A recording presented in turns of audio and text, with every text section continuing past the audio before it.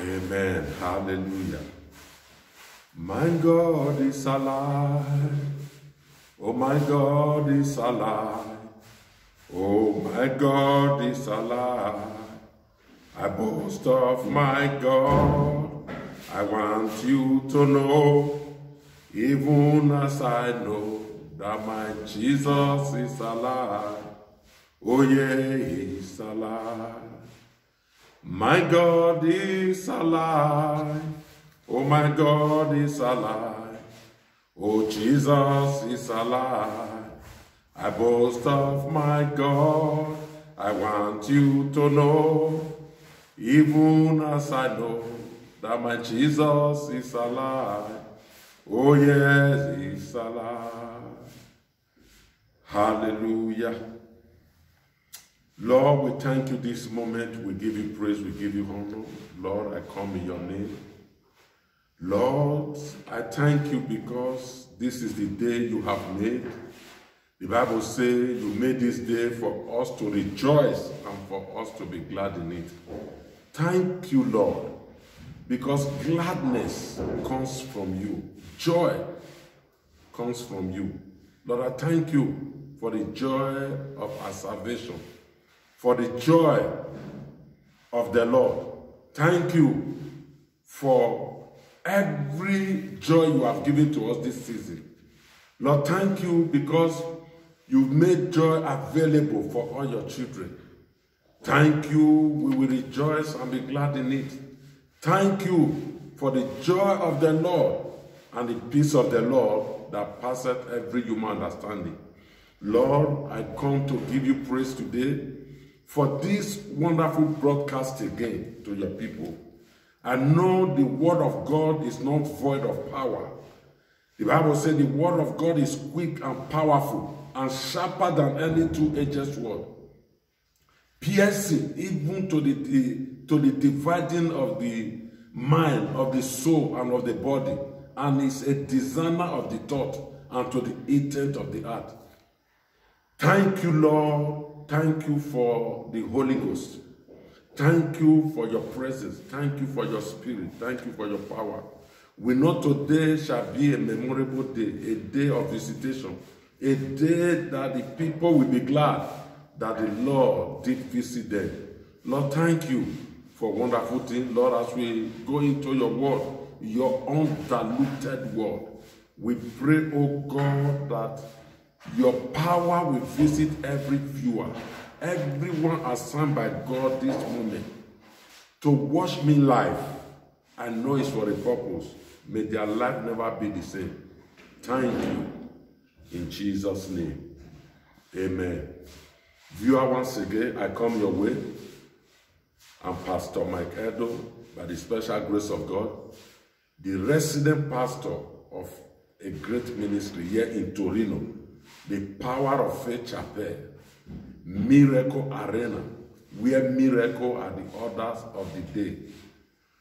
I want to thank God that today is a wonderful day and it has actually been a wonderful week because it's a season we are approaching to enter what we call Easter. You know, Easter is a word that is known to everybody in the world, both the Christian and not Christian alike. Even the pagan, they, they understood the word Easter. Easter is a biblical word. It's not, it's not borrowed from anywhere. Easter is something that tells us about something. It tells us about the defeat of Christ over death. And we are all glad and we are very, very happy that we are alive to celebrate another Easter or to witness another Easter. So once we talk about Easter like this, something comes to mind. We are being reminded of something that Jesus Christ defeated death. So for this reason, you and I need to be happy to celebrate, to commemorate the death and the resurrection of Jesus Christ. And just because of time, because I won't really be talking long today, because the Bible says a word is enough for the wise.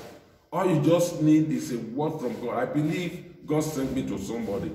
I might not be sent to everybody, but there is somebody who is watching me right now, listening to me, that I know that I'm online because of you.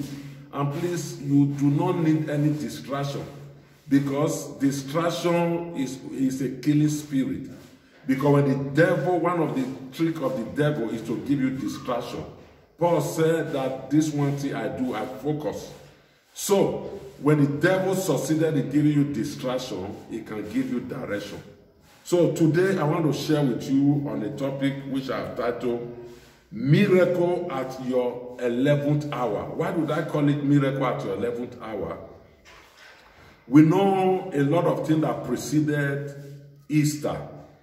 Now, when you read the book of uh, Acts 12, I will just quickly go through it. Acts 12 from verse 1. Hallelujah. The Bible says, I read Acts 12 from verse 1. Now, about that time, Herod the king stretched forth his hand to vex certain of the church. And he killed James, the brother of who? Of John, with the sword. And because he saw it pleased the Jew, he proceeded further to take Peter also. Then were the days of unleavened bread. The Bible says in verse 4 And when he had apprehended him, he put him in prison and delivered him to four quaternion of soldiers to keep him, intending after Easter to bring him forth to the people. Peter therefore was kept in prison, but prayer was made without ceasing of the church unto God for him. And when Herod would have brought him forth, when he would have brought him forth, the same night, Peter was sleeping between two soldiers, bound with two chains, and the keeper before the door kept the prison. And behold, the angel of the Lord came unto him, and a light shined in the prison, and he smote Peter on the side, and raised him up, saying, Arise up quickly. And his chain fell off from his hand. And the angel said unto him, Guard thyself, and bind on thy sandals. And so he did, and he said unto him, Cast thy garment about thee, and follow me.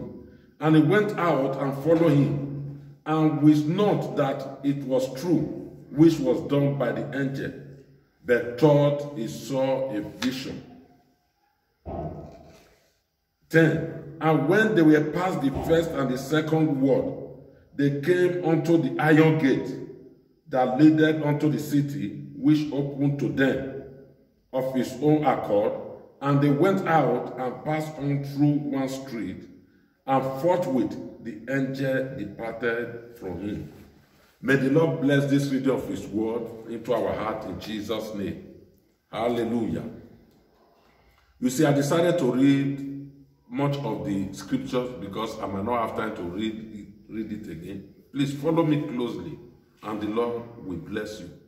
I'm talking about divine intervention. I'm talking about visitation at your 11th hour. The Bible speaks about a man of God. He was not an unbeliever, he was a man of God. He was not just a lay Christian, he was not just an honorary Christian that goes to church. We are talking about Peter, the first pope, the one the key of the church was given to. You still remember when Peter said, I know you, thou art Christ, the Son of the living God. And Jesus said, Flesh and blood have not revealed this to you, but my Father which is in heaven. Upon thee, Peter, upon thee, I will build my church and the gates of hell.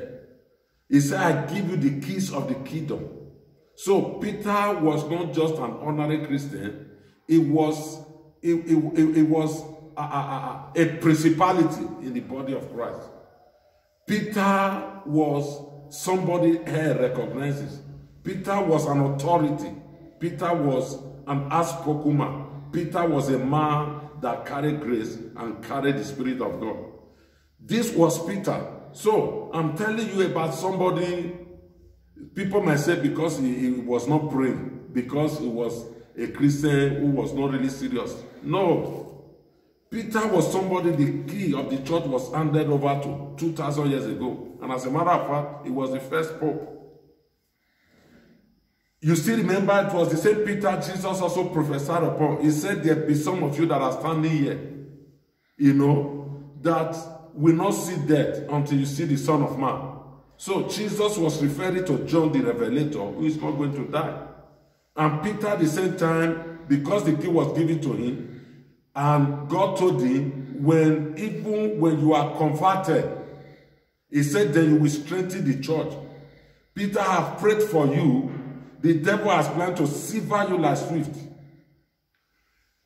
But I pray for you that once you are converted, Jesus prayed for Peter. That was why the devil could not have him. But the Bible said that the devil had Judah Iscariot. And Judah went his way. That's another topic for another day. Hear me and hear me good. Peter was apprehended by Herod. That was the king that was truly there. And the Bible said that this same king also killed his brother first. He killed James by the sword.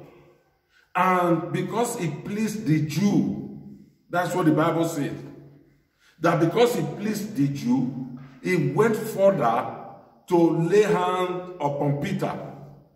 Hear me, church, because he pleased the Jew.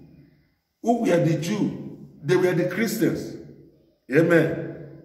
When you read John 4 22, it, it speaks about the Jew.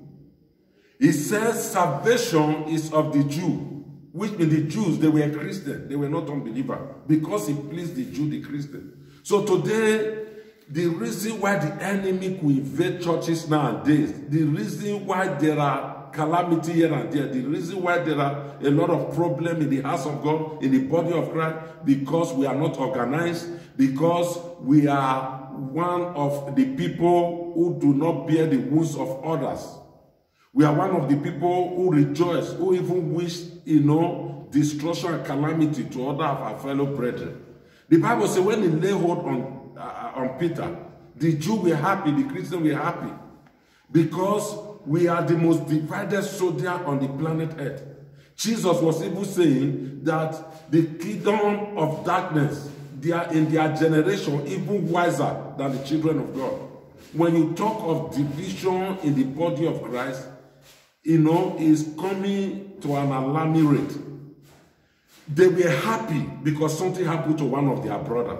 But the Bible said that when this thing happened to Peter, the church, the body of Christ, those that were born again, those that knew the God they were serving, the Bible said they went into the church and prayer was being made for Peter. Hear me, church. There are some breakthrough, there are some deliverance that will not come except by corporate prayer. The Bible says one can put to flight 100, two can put to flight 10,000. The Bible said that we must come together as the body of Christ to pray for one another. We must pray for, we must pray to God. It is prayer that goes to the presence of God and disturb God because when you see everybody that pray in the Bible, they were the one that moved the hand of God because prayer is a necessity. It's a necessity for daily victory. It's a necessity because when you need victory every day, is you need prayer. Prayer is a vehicle that goes into the presence of God and convey what you and I needed. Prayer is very, very important. If there is any man to pray, there is always a God to answer. The only thing that moved the hand of God is prayer. Men of old pray. Elijah prayed and said, God, let there not be dew for three years and six months. And the Bible said there was no dew, neither rain. Yenicho, Peter was put in prison, and the unbeliever rejoiced.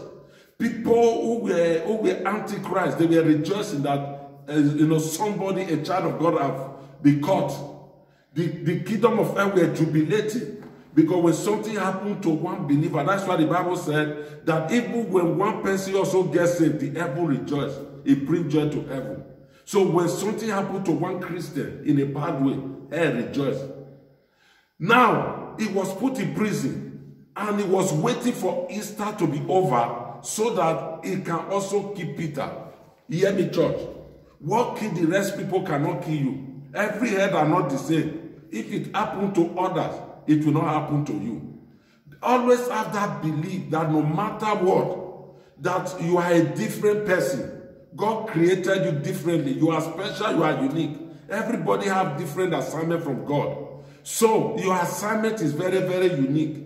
Whatever thing that is happening in the world, the Bible said that we will only see with our eyes, it will not come near us. So when Peter was being caught, apprehended, and put in prison, you might be hearing me right now, you are in prison. It might not be physical prison, it might be mental prison. You are being tortured by one or two things. Some of you, you are, you are, you are being tortured, you are in the prison of fear. Because the Bible says God has not given us the spirit of fear. Fear is a spirit. Now the world has gone into a chaotic disorder. Things are not going the way man has wished. There are a lot of things happening all over the world. There is war. There is problem. There is nothing that can bring peace. Even let United Nations, let them sit on a conference table and do different meetings. They can never know peace. Except they invite the Prince of Peace to their conference table. Peace is not just a commodity. Peace is someone. And Jesus is the Prince of Peace. You and I need Jesus in our situation. No matter the mental torture, no matter the spiritual torture, I don't know the prison you are right now. Maybe as a result of powers of darkness, powers of the Father's house, as a result of enemy that have come together, but because the Bible says they will surely come together because the gathering is not unto God, they will scatter. No weapon formed against us shall prosper. This is the word of God. Peter was kept in prison just for no reason.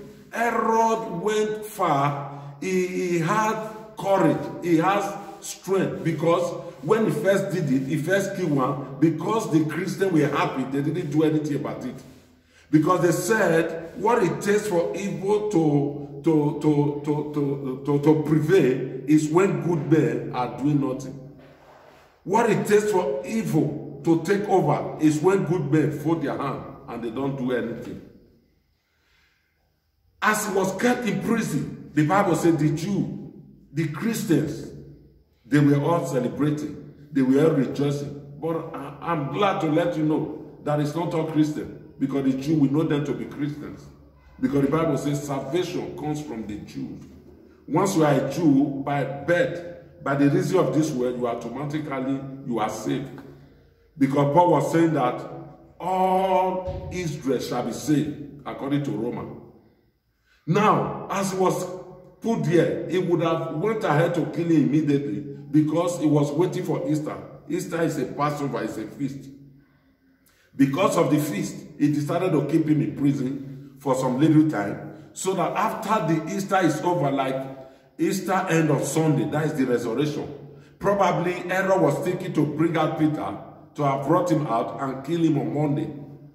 Then, the Bible said prayer were being made for him because there are some certain deliverance that might not take place except when there is corporate prayer. The church pray earnestly. The church pray fervently for him as I'm praying right now. Hear me, church? Your case are different from other people's cases. Then as they begin to pray for him, the Bible says an angel enter into the prison. An angel doesn't need invitation to enter anywhere because they are celestial being. They are spirit. As he enters as a result of the prayer of the Christians, then that is why you see this period. Every Christian need to pray because there are things that supernatural things that happen in this Easter period. This Easter period, prayer are very, very essential. Prayer are very, very important for you and I to triumph over evil. There are a lot of things that are being cooked by the enemy, but we'll be able to surmount it as a result of prayers. As the church pray and they quake for Peter, in the church, the Bible said the angel entered into the prison. As the angel entered the prison, the Bible said that he made Peter, Peter were sleeping. His hand were tied with chains. His hand was locked. His leg also locked by chains. That is the extent the enemy can go to. Because when you give the enemy one room, they will take over seven rooms. Don't ever allow them to even get to you, not to even, you know, allow them to now even capture you and to the extent they now bound you. Many Christians are bound today. You remember the story of Lazarus. After he came out from the grave, Jesus Christ said, lose him and let him go. There are things that precede Easter. There are a lot of miracles. We are in a period of miracle. Miracle, I see a level tower miracle. I see this period. I see great manifestations of God. I see God by himself coming to your rescue. I see God by himself coming to your way. I see Jesus by himself leaving heaven coming to you, as he did for Shadrach, Meshach, and Abednego when they were thrown into the fire. The Bible said because they believe in their God while they were in the fire. The Bible said Jesus left his estate, his headquarters. He left heaven and he went to bear with them inside that fire because they didn't deny him. Then King Nebuchadnezzar said, Were there not three men I threw into the fire? How come they are not four? He said the face of one looked like the face of the Son of Man. That was the first time Jesus appeared in the Old Testament. The face of the Son of God. This was the case of Peter. He believed God. I pray today that God will give you that grace and that power to be able to absorb, you know, that shock observer to be able to absorb, you know, pressures of life, to be able to believe God that even in a time of your trouble, you will still have peace. In a time of trouble, in a time of problem, you will still have peace. In a time of worry and sorrow, here and there, you will still have peace. That is what Peter was displaying. Peter was told he will be killed the next day after Easter, but Peter was still sleeping. That was maturity. That was God on the, under, the understanding of God. Because you are who you are today because of the knowledge you have about God. Because the Bible said, they that do know their God shall be strong and do what? And do exploit. I'm telling you today, you need to understand this, your God. You need to know the God you are serving. Your God is bigger and greater than your problem. Yes, problems of life are real. But our God is bigger. Our God is greater. When you talk about God, there is nothing to compare to him. He's bigger than all our worries. He's bigger than all our trouble. What he just needed for you, hold your peace. Believe in tranquility. Just hold on to God. For it is written that in the time of trouble, he will deliver you. Peter had his peace. He knew whatever that was going to happen, that his God was bigger than Herod. His God was bigger than the soldiers. His God was bigger to intervene for him. His God can intervene. His God can do everything. So he believed God. He believed him to his word. Then when the angel entered, as a result of the prayer and the belief and the trust of Peter in his God, the Bible said, Peter, who were chains, all of a sudden, as the angel entered the prison, the chains on his arm cut off on his own accord. The chain on his leg snapped and it went off on his leg. And the angel said, Peter, wear your sandals, bind your sandals, wear your shoe. In other words, what the enemy have taken before, after intervention, you are going to get them back. He said, put on your sandals. Whatever that they've taken, whatever they've kept you before, after this great visitation, you are going to get everything back. Whatever you have lost in life is coming back to you. Whatever you have trusted God for as a result of the trial, everything you've been through, I'm glad to let you know that you will not lose anything again. You are going to get up back. Peter got up. I'm speaking to you today by faith. Get up. Surmount that mountain. That sickness, get up out of your sick bed. That problem, get up out of it. Take a step of faith.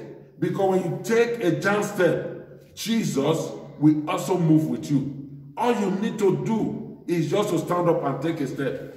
Adventure into it. Do you know that it is risky not to take risk in life?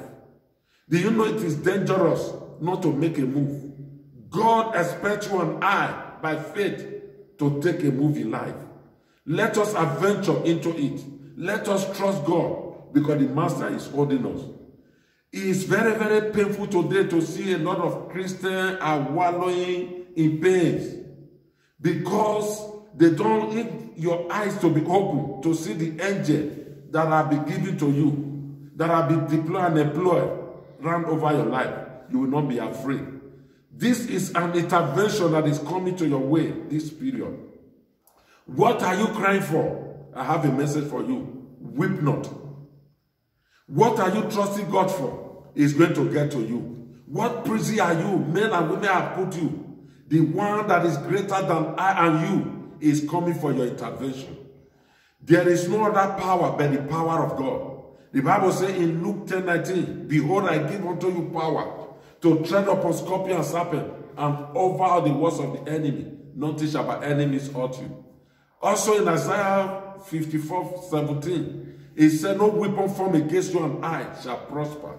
There is no weapon that is going to prosper over your life this period. Your life is saved. The life of your family is protected because of the power of resurrection. The Bible says he kept you to kill it before Easter. Whatever thing you were going through to this time, I pray for the power of resurrection to invade your home, to set you free, and to liberate you. Peter got up, and the Bible says while they were going, they got to the strong gate. I don't see no that one gate, the gate of the enemy that is still resisting you. Gate mean you know resistance. Gate mean obstacle. Because when you want to enter a house, a house with a gate, you can't enter as a result of that gate. But today, the Bible said the gate open on its own accord. Every ancient gate, every gate that have been locked against you, the gate shall be open on its own accord. Yes, let every doors, every gate that have been shut against you, let it be open on its own accord. The door of finances, the door of marriage, the door of document, the door of blessing, the door of children, the door of every project you have started, the door of completion. Whatever thing you put your hand from now, because of Easter, because of resurrection, because Jesus, you know, defeated Satan, he defeated death. That is the significance of Easter. Whenever we talk about Easter, we are talking about Jesus' victory over death. We are talking about the resurrection of Jesus Christ. I implore you today that you and I should hold God by his word, that you and I should trust God, that there is a miracle at our 11th hour. When we have given up, when Peter was sleeping, the whole world thought that the next day Peter was going to be killed. But at the 11th hour, the angel of God appeared. It's not over until it is over. You, you are not a failure, no matter what people told you. I'm glad to let you know that you are not a failure until you believe it that you are a failure. Nobody, as long as God lives, because the Bible says that if God be for us, no one can be against us. You are blessed. There's a miracle for your 11th hour. There's a visitation to your home. May the Lord bless you and keep you. I pray for every viewer. It is well with you. Experience resurrection power. If you are done today, resurrect in the name of Jesus. If your business is done, let it experience resurrection in Jesus' name. Amen.